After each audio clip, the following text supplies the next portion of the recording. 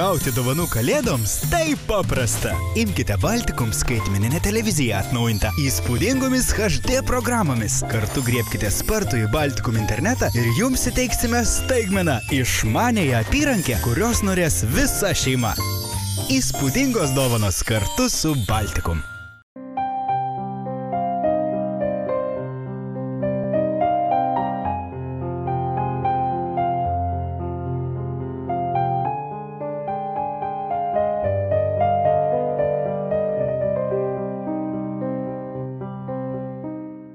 Šiais metais Josvainių kultūros centro moterų vokalinis ansamblis Sonata švenčia gražų jubiliejų. Mini 20 metų veiklos gimtadienį.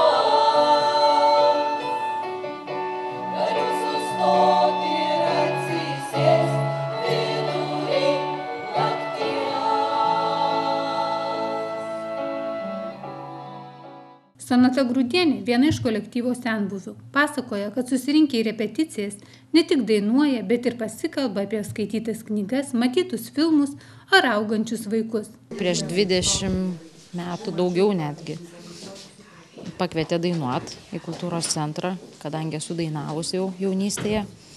Tai po truputėlį viena, kita, antra, taip ir pradėjom burtis. Oi, dabar labai puikiai, labai puikiai. Nesigailiu ne vienos minutės praleistos kolektyve šitame su šito moterim. Labai puiku, labai nuostabu. Visos e, toks vienas brandolys, vienas kumštis, visos viena už kitą. Labai smagu. Tai draugė ne tik repetuojat, koncertuojat, bet ir bendraujat. Taip, ir bendraujam, ir po repeticijų, ir, ir negalim išsiskirti, ir skambinam, ir, ir tokia kaip šeima, kaip bendruomenė, kaip, kaip, kaip seserų draugija, netgi net galvojam pavadinimą, niekaip dar nesugalvojam. Kokios dainos įdomiausius, skambiausius, kokias labiausiai patinka dainuoti? Patinka dainuoti įvairias dainas, bet turbūt e, keturbalsės, žinoma. Iš pat pradžių pradėjom dviem balsais dainuoti, buvo mums labai gražu, bet kai pabandėm trim ir keturiais, pasižiūrėjom, kad mes galim ir kad labai gražiai skamba ir dabar jau nebenorim dainuoti dviem balsais. O dainos įvairios, liaudės ir lyrinės ir, ir kokias vadovas, aišku, išrenka, tokias ir dainuojam. Šiandien jubiliejinis koncertas labai jaudinatės. Nu, žinokit, jaudinamės trupučiuką, jaudinamės. Sakai žmonės ateis paklausyti prieš jūs didesnė atsakomybė negu kitose koncertų salėse. Turbūt, kad taip, manau, kad taip. Prieš savus turbūt viso, visuomet įtampa yra šiek tiek didesnė negu kad kitur, kai išvažiuoji. Jau 15 metų ansambliui vadovauja Vytautas Greičius. Jis ketvirtasis ir pats kantriausias bei griežčiausias vadovas. Profesionalus, atsakingas ir energingas. Atėjo prieš 15 metų. Beje, atėjo su daina, kurią padainuos šiandien. Kitas mano kolektyvas tai Aušros moterų dar be pavadinimo kolektyvas. Ta daina sudainuos kaip dovana šiam kolektyvui, kurio taip pat buvo pirmoji daina. Ta daina vadinasi Suklydom. Atėti moterišką kolektyvą. Ar tikėjotės tokio rezultato? Nu, aš visada tikiuosi gerų rezultatų, jo labiau moterų kolektyve. Ir galiu pasakyti taip, kad gražiausia daina tai puikia dovana. Visos gražiausios dainos bus padainuotos šį vakarą, o visos dainos, be būtų, kokia jinai be būtų, šį vakarą jinai lėta jinai greitesnio tempo, bet visos yra nuoširdžios, yra pati puikiausia dovana man ir aš manau žiūrovui sėdinčiam salėje. Tad linkiu moteriams, linkiu, ko linkiu, na, kad jūs visa dar būtų ne vieną penkmetį, ne vieną penketą metų, bet dar ilgai, ilgai tokios, kokios dabar, geros, įdomios, nuoširdžios, na, ju, jumo, ju, nestingančios humoristinės nuotaikos, na, to ir linkiu. Repertuarą sudėtingai surasti. Na be abejo, repertuaras sudėtingas surasti šiuo laiku, nes e, dainų kaip ir nekuria, paimame senesnės dainas, imame kažkur girdėtas, be abejo balsuojame, imame vienbalsis dainas, pritaikom kolektyvui. Na, žodžiu, dainos daugiau pritaikytos yra kolektyvui. Bet, e, kaip žinote, vasario mėnesio pabaigoje bus sidabrinių balsų konkursas, tai čia jau mes ruošiamės jam. Dainos bus gana sudėtingos, bet jau kompozitoriaus Noviko, e, liaudės dainos aranžuotos. Didelius keliat reikalavimus moterim, repeticijose daug dirba. didelius kelių reikalavimus. Nu, reikalavimai tai maksimalūs, bet kadangi tiek metų dirbu, 15 metų, žinau galimybės, tai nereikalauju to, ko negali. Žinau galimybės ir, ir, ir, ir, ir, ir manau, kad pagal galimybės mes turim tą pasiekti, ką galim. Va, tai tiek, o, o, o, o dėl to ir repertuarą dėl to taikau tokį. Na, aišku, visada norisi daugiau, geriau, bet galbūt ne visada gal tai pavyksta, bet stengiamės, tad šį vakarą tą pamatysit ir išgirsit.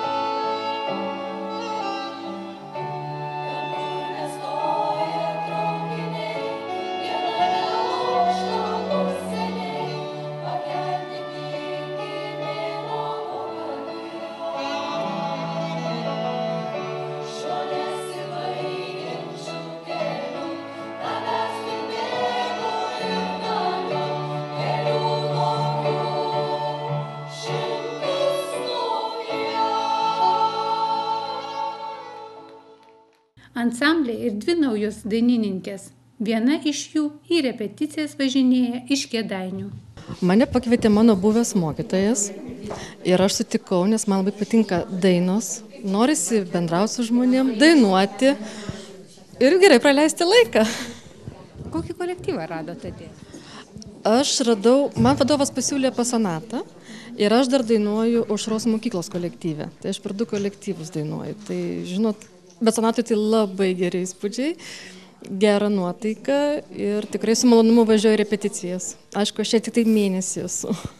Kodėl jūs atėjote į šį kolektyvą? Tiesiog daina mano gyvenime buvo nuo mažų dienų. Mokykloje dainuodavau ir vis norėjau kažkur tai. Tai va, pavyko at- atvykti. Nes moteris prisidėjo. Ir koks įspūdis?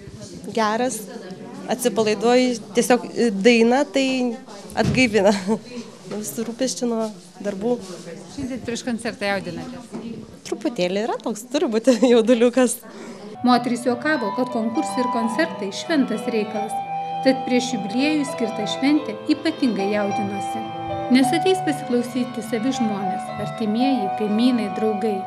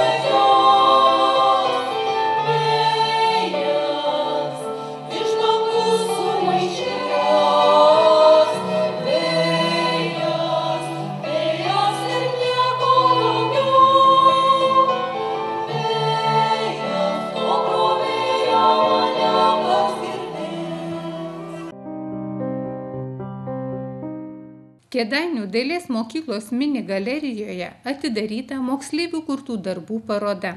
Mes turim tradicinę parodą, mūsų pusmetis baigėsi ir mes atrenkam pačius gražiausius darbus ir visada eksponuojam mini galerijoje, kad pamatytų kėdainių svečiai, patys pasidžiaugtume, tėvai, seneliai, patys vaikai įvertintų savo gražius darbus.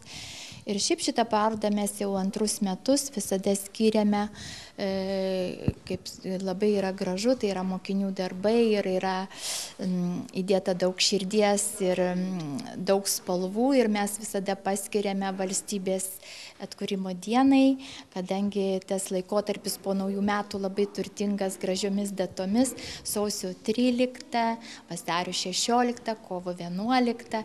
Ir iš tikrųjų, kad e, labai tankiai šitos datos yra ir mes, kadangi negalim taip daryti ir keisti tų parodų, tai mes vat, galingą, didžiulę parodą surengiam vaikų dovana, yra mūsų gražiai Lietuvai. Parodoje eksponuojami keramikos, tekstilės, tapybos, grafikos darbai, tarp brandžių vyresniųjų ketvirtokų kūrinių ir pirmieji mažųjų spalvingi darbeliai. Darbų mes turime įvairiausių, čia kaip jūs ir matot, kokias disciplinas mokykloje turime, tokie darbai ir atsispindi mūsų parodoje. E, Ir kompozicija, ir tekstilė, ir keramika, ir oda, ir tapyba, ir piešimas, ir grafinis dizainas, ir mažų vaikų darbai, pradinukų ypatingai gražus kūrybiniai darbai, ir grafika, ir, ir labai gražus, ir aplikacijų įvairiausių yra. Iš tikrųjų labai labai daug darbų yra gražių, taip kad tikrai mes džiaugiamės tą parodą ir visi, kas ateina, ir patys mažiausiai mūsų irgi dalyvauja kaip parodos dalyviai. Tai vat ir mes labai tikrai džiaugiamės, kad ir va ten visai mažų vaikų yra darbeliai, žuvis kaip akvariume kaba. Ir iš tikrųjų mes norim, kad visi, e, kas gali, ateitų ir pažiūrėtų savo e, vaikučių darbus, galbūt net ir iš mokyklų mokiniai pažiūrėtų ir mokytai atsivestų vaikus. Tai vat ir tikrai labai gražu. Ar stebina vaikų darbai, pedagogus netgi? Iš tikrųjų, yra įvairių darbų. Yra labiausiai tai stebina patys mažiausi. Jie labai daug turi fantazijos, turi daug išminties ir labai drąsus. Ką jie sugalvoja, tą ir įvykdo popieriaus lape. Iš tikrųjų nėra pas juos tos baimės kūrybinės. Kuo vaikas vyresnis, tuo jis yra daugiau susikaustęs. Tai vad ir mes iš tikrųjų labai džiaugiamės Tiesiog mes džiaugiamės mažais vaikais, kad jie, jų tas kūrybingumas iš tikrųjų ir ateityje neišnyktų, bet ką padarysi.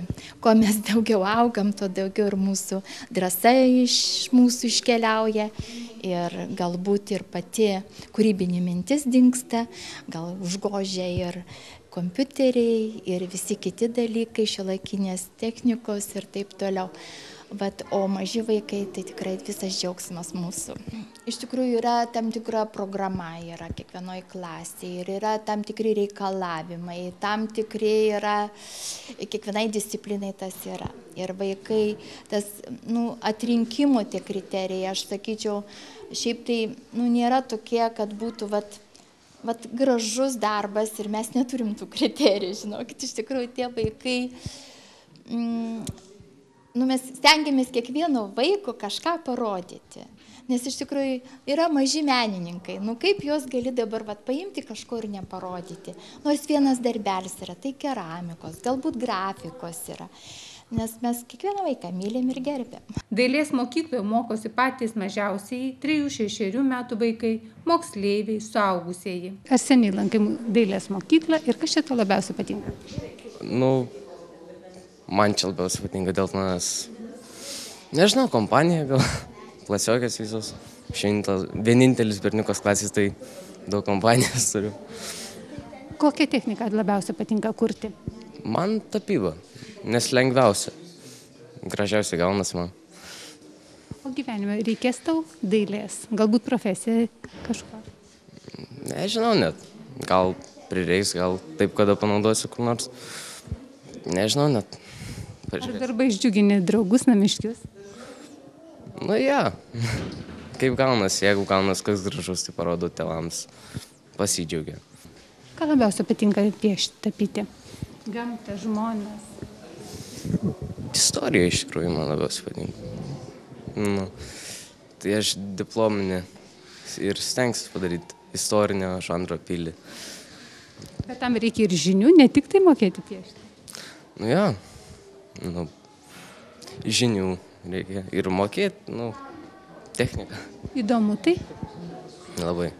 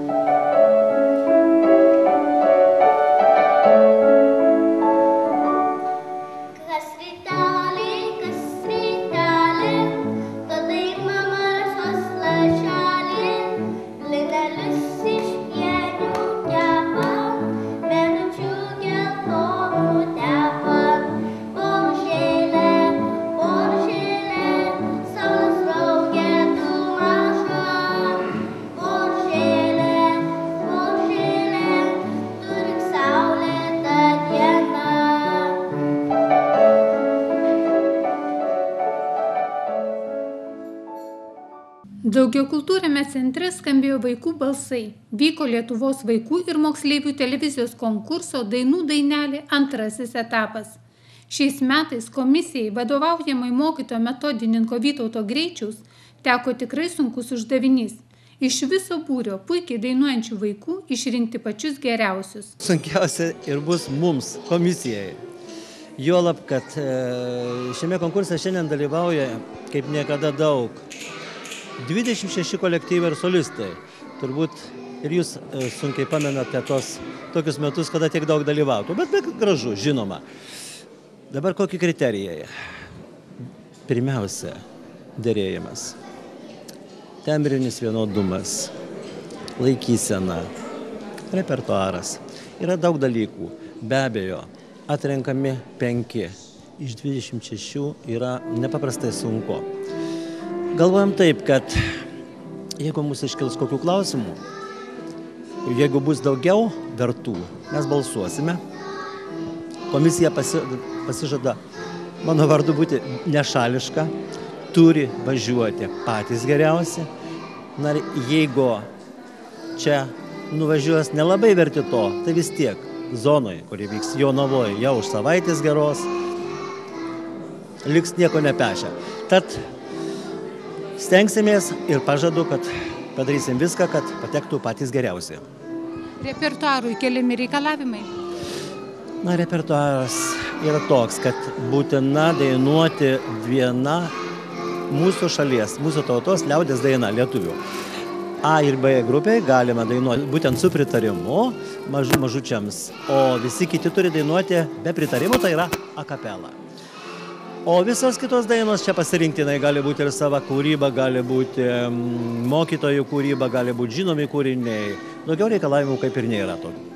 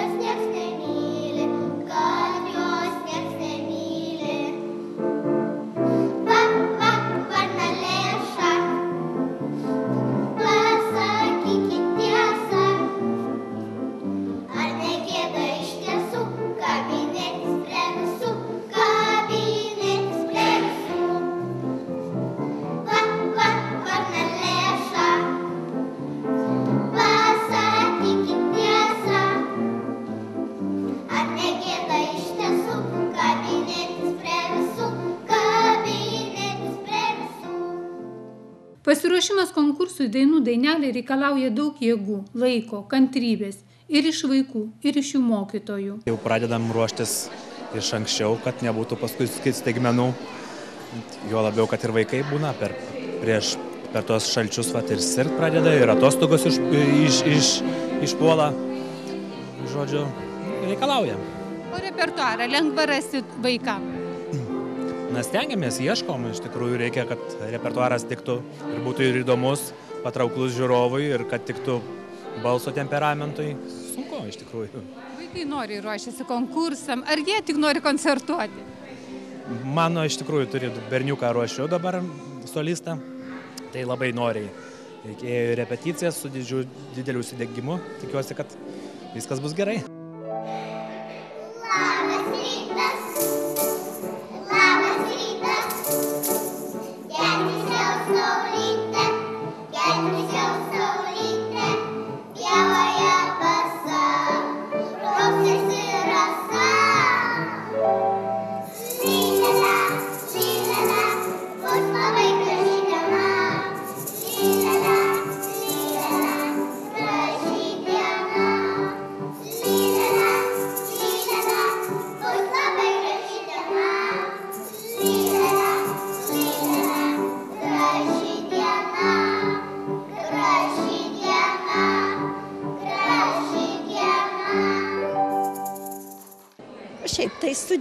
Sudėtinga su vaikais mažais dirbti, žinot, reikia įdėti labai daug darbo ir stengtis taip, kad e, vaikus nepervarginti ir kad jiem patiktų.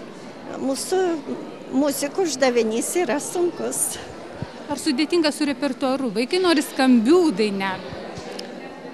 Dabar e, repertuarų pasirinkimas, sakyčiau, yra didelis. Tikrai ne taip kaip anksčiau ten e, keletą dainelių, o dabar repertuarų galvoju, kad skūstis tikrai mes negalim. O vaikai nori, dainuoja ir jie nori tik koncertuoti, bet repetuoti nelabai. Būna įvairių būna dalykų, būna, kad ir nori tik, kad tik greičiau pasirodyti, bet, bet mano vaikai tai tikrai jie pakankamai galvoju jau suaugę, šešiamečiai ir jie žino, kad be darbo nieko nebūna. Res- Nu, kokio amžiaus pradedat ruošti vaikus dainų daineliai? Dainų dainelį šiaip esu e, nuo keturių metų vaikus jauniausius ruošus. Aš